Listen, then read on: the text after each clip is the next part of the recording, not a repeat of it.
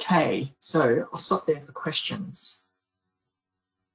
Thanks, Matt. Yeah, we, we do have a few questions now. Um, let's say one study measured the outcome in three different time points. Shall we include all the three time point results as individual reports just to avoid bias?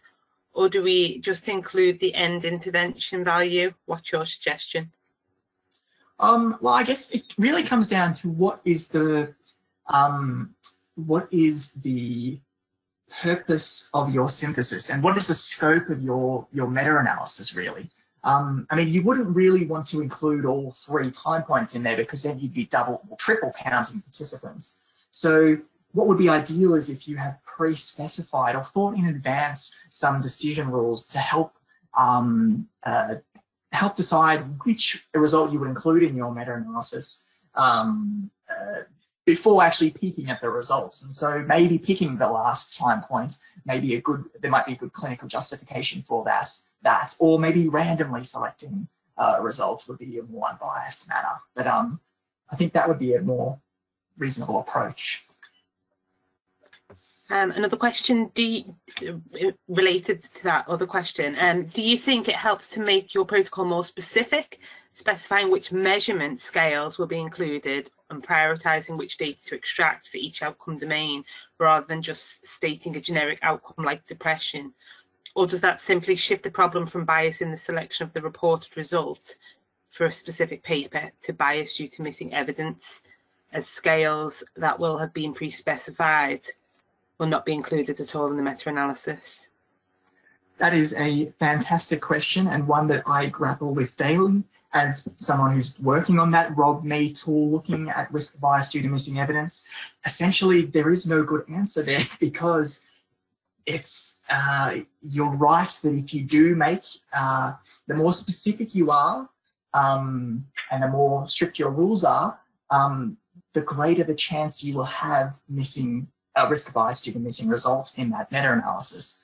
Whereas having a more broader uh, defined meta-analysis means that you increase your chance of potentially um, having to include a biased result in the meta-analysis. So that's something we're going to try and work through in the coming months when we try and integrate these two tools together. But um, I'm glad that you recognize that they are interrelated in that sense, and we don't have a really easy um, answer for you for that, but we will hopefully come up with some good guidance on that shortly. Um, can I just add to that, Matt, that um, in the risk of bias 2 guidance that we've, we've created as part of the pilot within Cochrane, we do recommend that people specify the, the scale and the time point that they are interested in in the protocol. Um, and we've tried to relate that to the summary of findings tables. So, you know, we've suggested that people at least um, assess those that they want to include in the summary of findings tables because they will need that overall risk of bias judgment um, to inform grade. Yes, that sounds great. Um, okay, there's quite a few more questions coming in. Um, in your experience, how helpful and cooperative are trialists? Um, in my experience, I would say that they are um, generally very helpful uh, well, the ones who reply are.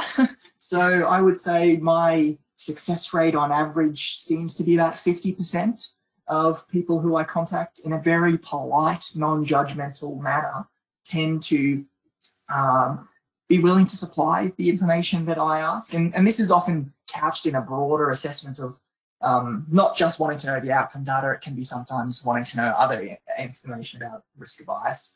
Um, but yeah, I definitely think it's worth doing, and and um, uh, yeah, I, I, I, you won't always get an answer, particularly for some older trials or for some trials where the trials really just don't have any interest in sharing that information. But I definitely think it's worth worth worth the attempt.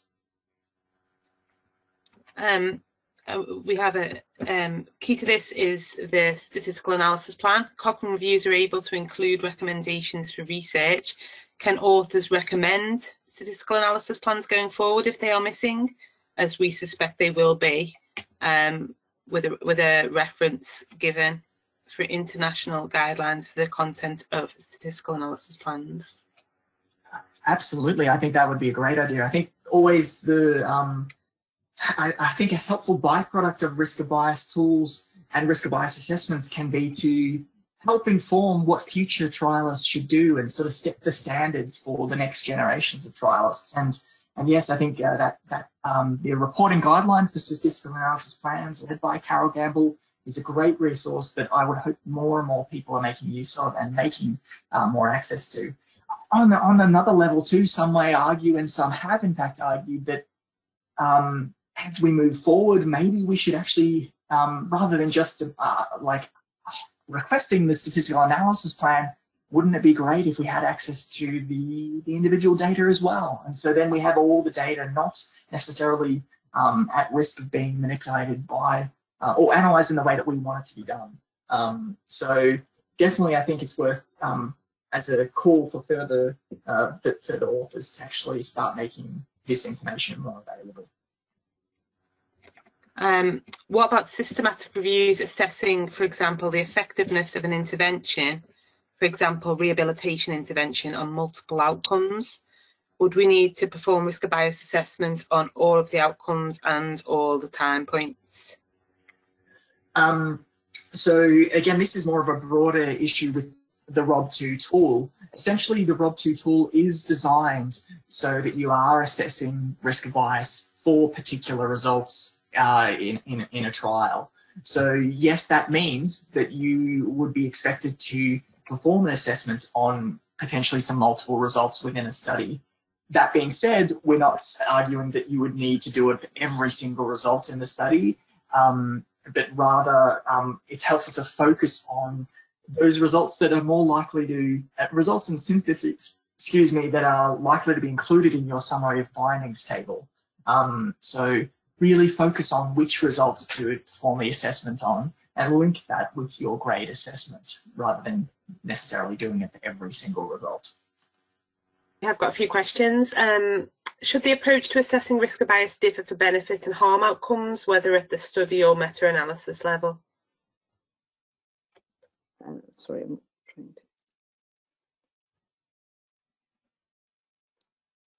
So I think it it shouldn't differ but the way you're going to um, interpret the results uh, depends on the context. So if you are in the context where really you're comparing a new treatment to placebo, and that probably the investigator is more likely to want to show that the new treatment is beneficial, the selective reporting will be more toward reporting statistically significant results for efficacy outcomes and non-statistically significant results for safety outcomes. But you can be also in a situations where uh, you are comparing two active treatments and the investigator is more likely to want to show that one of the active treatment is less beneficial than the other.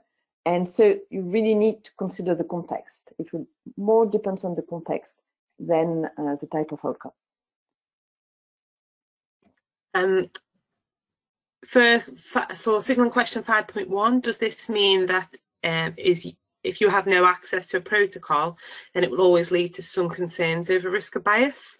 This is likely to be the case for a lot of older studies in particular, or is it acceptable to use the other information and methods and how the data were reported to give a rating of probably yes, even in the absence of a plan? I think one very useful, so I, I, agree that it's it's it's key to have the, the, protocol, and even sometimes the protocol is not enough. And what you really want is a statistical analysis plan, because, for example, the authors uh, adjusted their analysis, and you, you, it's not clear in the protocol whether this was planned or not. So it will depend on the situation.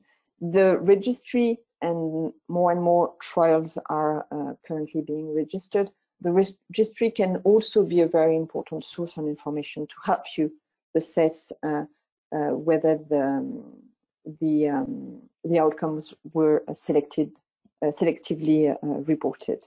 But of course, you need also, and this was highlighted by Matt, and I don't know, Matt, if you want to, to add something, but comparing what was reported and what was planned in the um, in the articles can also be useful to to see whether there's some unexpected and doubtful situations where you need to rate it as high risk of bias.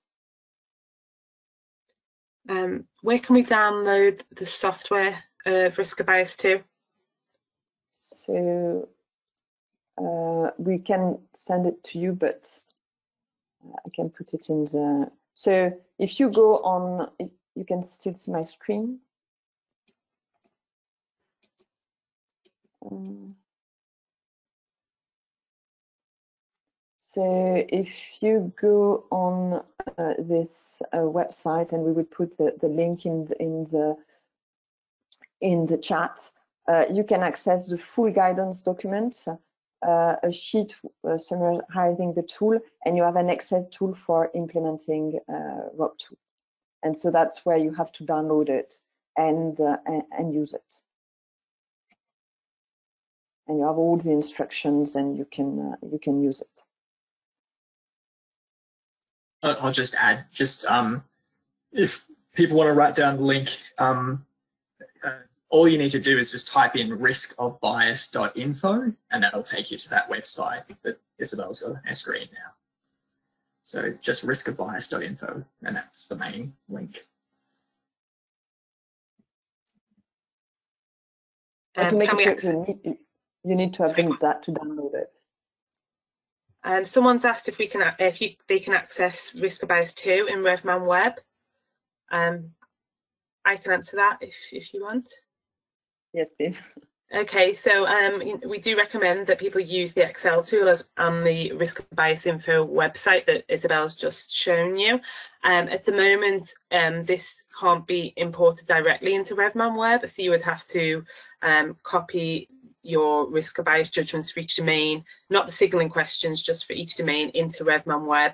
Um, I think the risk of bias team are working on an online version of the Excel tool, and hopefully um, th there is plans to integrate that with RevMan Web um, at, at, at, some point in the future. Um, so it is in the plans, but at the moment um, it, it's not possible.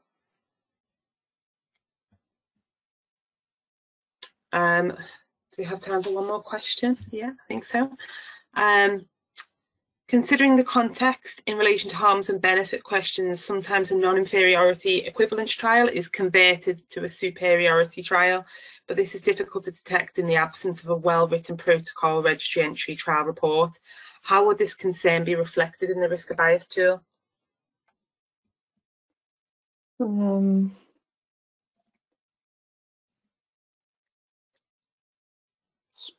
I would say here uh, the situations would probably um, be quite similar to, to the assessment of uh, any trial.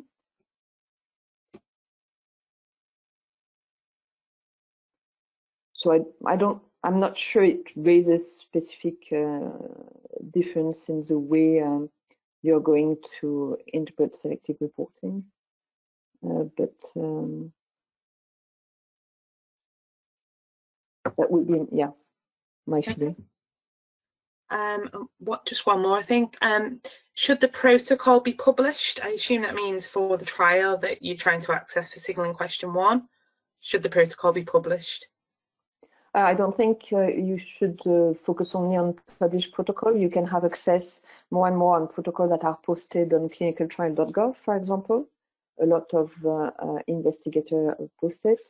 And if you contact the investigator and request uh, the protocol, you can uh, uh, access the protocol. So what is important is to, to check the date uh, of the protocol and mainly the date of the statistical analysis plan. But for example, in the COVID systematic reviews we're, we're doing, we're contacting all the investigators to obtain their protocol and they're quite willing to, to share this document. You also um, have a lot of journals, sorry, a lot of journals that uh, uh, ask authors to provide the protocol as a supplemental file. Thanks, Isabel. And just on that note, is there any uh, has there been any discussion on sort of editing signaling question one? Because um, we've noticed that a lot of people, because of the way it's worded with the analysis plan, um, and people aren't picking up on the trial registry or the protocol. They they you know they don't have access to a statistical analysis plan, so they put no information in answer to that question. Yeah, I agree. I agree. We should probably um, clarify this.